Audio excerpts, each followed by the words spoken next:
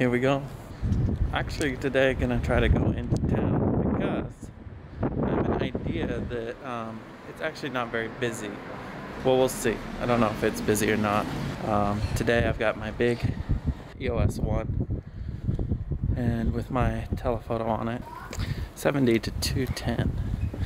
So we'll try to see if we can get some interesting shots of the new flight path over Tokyo. Actually goes right over the city and right over Shinjuku. It's real loud.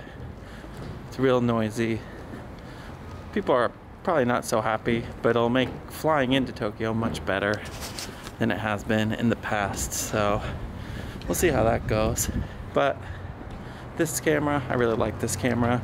Um, I think it's super easy to use. Uh, it's got the EF lenses on it, so this is autofocus, uh, ultrasonic, and you just basically point it, shoot. But I get awesome results. I actually have had so much fun this year shooting this camera, and I bought it mainly just to do um, a little trip to America. And I wanted something that I wasn't afraid of scratching up and um, maybe even getting stolen out of the car or something. I don't know.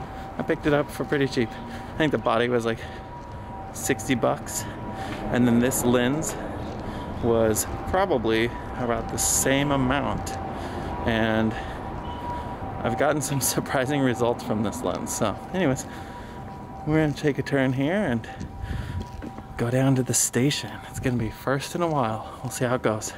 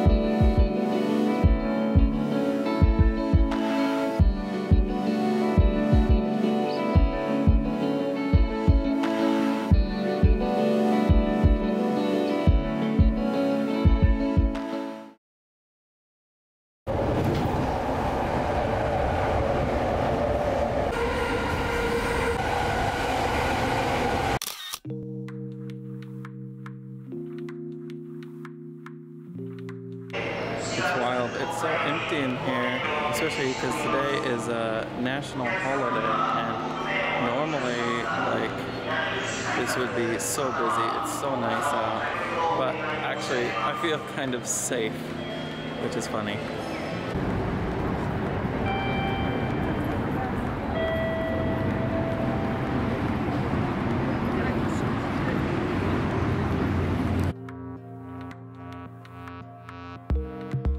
I just saw my first plane flyover, so that's kind of what I'm looking for.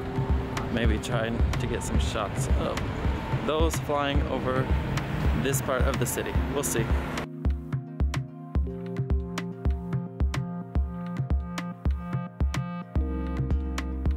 I think I've shot this building a million times already, but I just like that crack where you can see the tall Tocho behind it.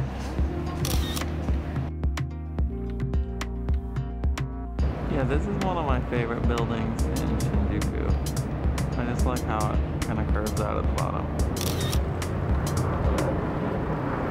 Oh.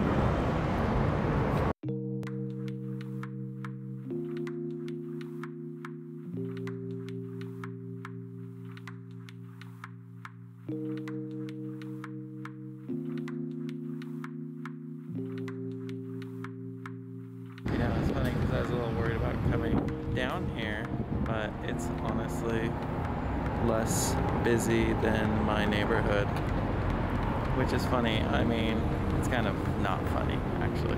It's kind of too bad. oh, there we go. Now the planes seem to be coming in, which is good. Um, but it's hard to get a shot with all the buildings. I don't know what I was thinking, but yeah, it's fun. I like this shot I'm gonna wait for the bus to get out of the way. There's a bell tower really far in the distance in front of this building, and then trees are illuminated. Looks nice. I'm gonna take a shot.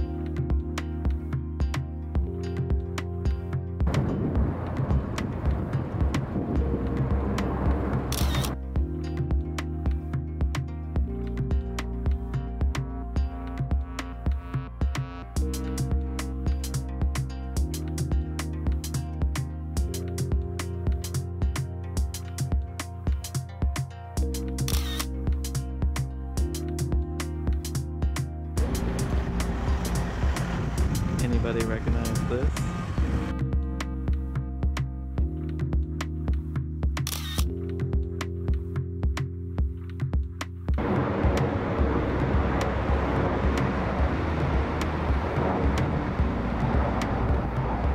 Corporate Park Art Art Park Corporate What's new? You know, it's really nice that there's nobody out here because you can shoot a lot of stuff that normally there'd be a lot of people standing in front of these strange sculpture things. I mean, this is usually really busy. Like, there's a lot of stuff out here I didn't notice before. Like, look at this bush. Look, it's so smooth and round. Yeah, it's cool these planes are really hard to take photos of. You know, one of my big influences is Greg Ger Ger Girard. Hope I said that right. Uh, I love his images of the Hong Kong airports and all the planes he took pictures of. But obviously I don't have that kind of angle of approach to get them close to the runway. I'm shooting like straight up from the ground. I'm only gonna get the bottom angle of these planes, but um, it's a fun challenge. it's really difficult though. I want to change up the film a little bit.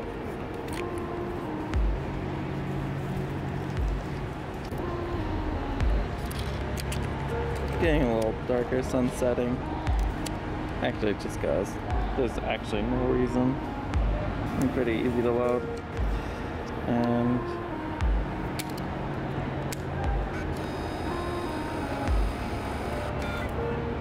there we go.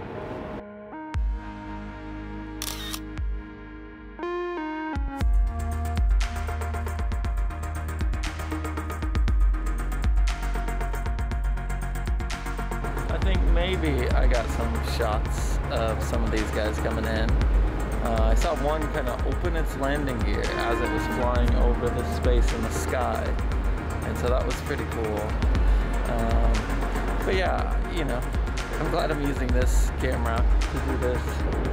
But yeah, it's such a peaceful day out here. I'm really surprised.